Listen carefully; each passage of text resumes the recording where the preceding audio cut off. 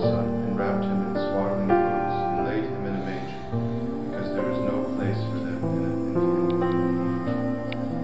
And in that region there were shepherds out in the field, keeping watch over their flock by night. And an angel of the Lord appeared to them, and the glory of the Lord shone around them, and they were filled with fear.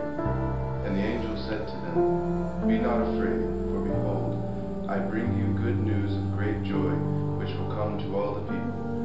For to you is born this day in the city of David a Savior, who is Christ the Lord.